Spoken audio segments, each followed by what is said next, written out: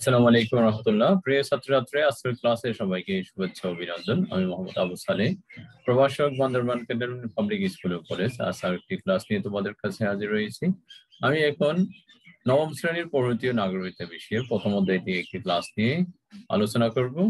আমাদের আজকের পাঠ সমাজ ও রাষ্ট্র। প্রথমে আমি সমাজ নিয়ে আলোচনা করব। প্রিয় ছাত্রছাত্রী, তোমরা লক্ষ্য করো।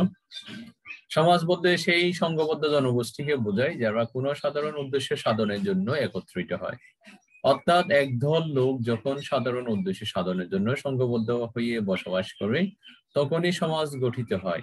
সমাজের এই ধারণাটি বিশ্লেষণ করলে এর প্রধান দুটি বৈশিষ্ট্য লক্ষ্য করা যায়, যথা ক, বহু লোকের সংঘবদ্ধভাবে বসবাস বসবাস এবং খ ওই সংঘবদ্ধতার পিছনে থাকে সাধারণ উদ্দেশ্য। তাছাড়া সমাজের সদস্যদের মধ্যে আরও কিছু বৈশিষ্ট্য লক্ষ্য করা যায়। ঐক্য, পারস্পরিক সহযোগিতা, নির্ভরশীলতা, ক্রিয়া প্রতিক্রিয়া, সাদৃশ্য, বৈসাদৃশ্য ইত্যাদি। সমাজের সাথে মানুষের সম্পর্ক অবিচ্ছেদ্য মানুষকে নিয়ে সমাজ গড়ে ওঠে। আর সমাজ মানুষের বহুমুখী প্রয়োজন মিটিয়ে উন্নত ও নিরাপদ সামাজিক জীবন গঠন করে। সমাজের মধ্যেই মানুষের মানবীয় গুণাবলী ও সামাজিক মূল্যবোধের বিকাশ ঘটে। সমাজকে সভ্য জীবন যাপনের আদর্শ স্থান মনে করে বলে মানুষ তার নিজের প্রয়োজনেই সমাজ গড়ে তোলে। গ্রিক দার্শনিক অ্যারিস্টটল যথার্থই বলেছেন, মানুষ স্বভাবগত সামাজিক জীব। যে সমাজে বসবাস করে না, সে হয় পশু না হয় দেবতা। বস্তুত মানুষ জন্ম থেকে মৃত্যু পর্যন্ত সমাজে বসবাস করে এবং সামাজিক পরিবেশেই সে নিজেকে বিকশিত করে। এখন আমরা রাষ্ট্র নিয়ে আলোচনা করব। প্রিয় শিক্ষার্থীবৃন্দ, তোমরা লক্ষ্য করো, রাষ্ট্র একটি রাজনৈতিক প্রতিষ্ঠান। বিশ্বের সকল মানুষ কোনো না কোনো রাষ্ট্রে বসবাস করে। আমাদের এই পৃথিবীতে ছোট বড় মিলিয়ে প্রায় দুইশোটি রাষ্ট্র আছে। প্রতিটি রাষ্ট্রেরই আছে নির্দিষ্ট এবং নির্দিষ্ট ভূখণ্ড এবং জনসংখ্যা। এছাড়া রাষ্ট্র পরিচালনার জন্য আরও আছে সরকার এবং সার্বভৌমত্ব। মূলত এগুলি ছাড়া কোন রাষ্ট্র গঠিত হতে পারে না। অধ্যাপক গার্নার বলেন, সুনির্দিষ্ট ভূখণ্ডে স্থায়ীভাবে বসবাসকারী, সুসংগঠিত, সরকারের প্রতি স্বভাবজাতভাবে আনুগত্যশীল, বহিঃশত্রু নিয়ন্ত্রণ থেকে মুক্ত, স্বাধীন জনগোষ্ঠীকে রাষ্ট্র বলে। এই সংজ্ঞা বিশ্লেষণ করলে রাষ্ট্রের চারটি উপাদান পাওয়া যায়, যথা এক, জনসমষ্টি, দুই, নির্দিষ্ট ভূখণ্ড, তিন, সরকার, চার, সার্বভৌমত্ব। শিক্ষার্থীবৃন্দ, তোমরা, আমরা এখন রাষ্ট্রের উপাদানগুলোকে বিশ্লেষণ করছি। তোমরা পাশে দেখো, এখানে অনেক জনগণ দেখা যাচ্ছে, অনেক লোকের সমাগম। তেমনি রাষ্ট্রে অনেক লোক বসবাস করে। রাষ্ট্র গঠনের অপরিহার্য উপাদান হলো জনসমষ্টি। কোন ভূখণ্ডে একটি জনসমষ্টি স্থায়ীভাবে বসবাস করলেই রাষ্ট্র গঠিত হতে পারে। তবে একটি রাষ্ট্র গঠনের জন্য কি পরিমাণ জনসমষ্টি প্রয়োজন, এর কোনো সুনির্দিষ্ট নিয়ম নেই। যেমন বাংলাদেশের জনসংখ্যা প্রায় পনেরো কোটি, ভারতের জনসংখ্যা প্রায় একশো একুশ কোটি। এটা দুই হাজার এগারো সালের পরিসংখ্যান অনুযায়ী দুই হাজার একুশ সালে হয়তো আরও অনেক বেশি জনসংখ্যা দেখা দিবে বাংলাদেশে এবং ভারতে। ব্রুনাইয়ে প্রায় দু লক্ষ, মাত্র দু লক্ষ জনগণ আছে ব্রুনাই তবে রাষ্ট্রবিজ্ঞানী রাষ্ট্রবিজ্ঞানীদের মতে একটি রাষ্ট্রের সম্পদের সাথে সামঞ্জস্যপূর্ণ জনসংখ্যা থাকা বাঞ্ছনীয়।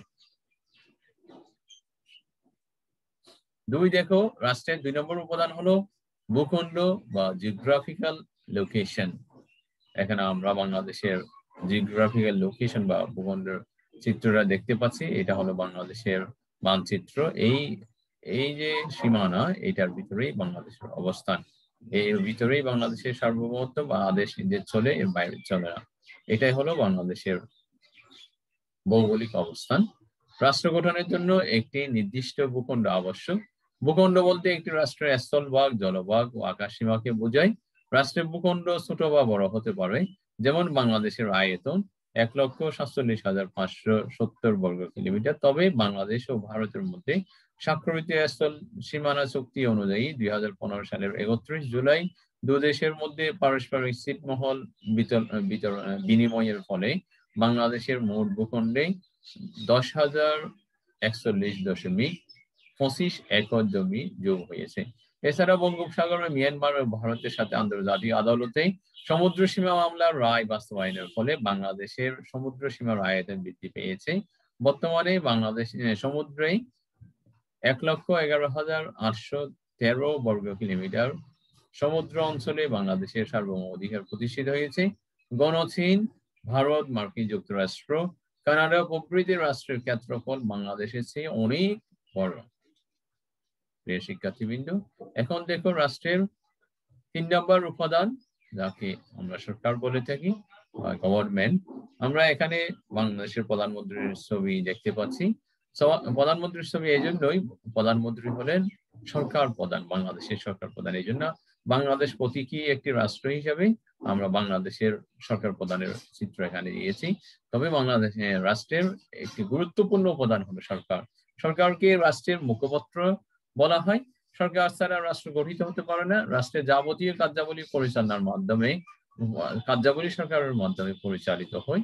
সরকার গঠিত হয় তিনটি বিভাগ নিয়ে, যথা আইন বিভাগ, শাসন বিভাগ ও বিচার বিভাগ। সকল রাষ্ট্রের সরকারের গঠন একই রকম হলেও রাষ্ট্রভেদে সরকারের রূপ ভিন্ন ভিন্ন। যেমন বাংলাদেশে সংসদীয় সরকার, আবার মার্কিন যুক্তরাষ্ট্রে রাষ্ট্রপতি শাসিত সরকার। রাষ্ট্রের যাবতীয় শাসন কাজ সরকারই পরিচালনা করে থাকে। শিক্ষার্থীবৃন্দ, আমরা দেখি রাষ্ট্রের সবচেয়ে গুরুত্বপূর্ণ উপাদান হলো সার্বভৌমত্ব। যেটি ছাড়া অন্যান্য উপাদান থাকলেও এই উপাদানটি ছাড়া কোন রাষ্ট্র রাষ্ট্র হিসাবে গঠিত হতে পারে না। উনিশশো একাত্তর সালের আগ পর্যন্ত বাংলাদেশ একটি প্রাদেশিক রাষ্ট্র ছিল। বাংলাদেশের জনসংখ্যা ছিল, ভৌগোলিক এলাকা ছিল প্রাদেশিক সরকারও ছিল কিন্তু সার্বভৌমত্বের অভাবে বাংলাদেশ স্বাধীন রাষ্ট্র হিসাবে পৃথিবীতে পরিগণিত হতো না।